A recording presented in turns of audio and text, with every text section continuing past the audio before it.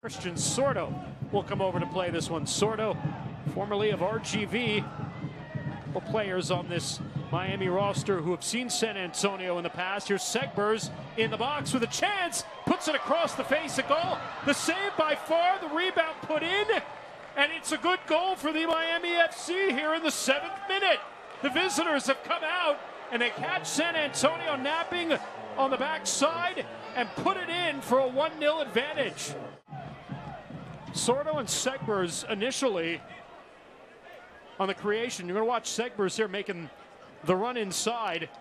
And then SAFC just kind of leaves this ball out there.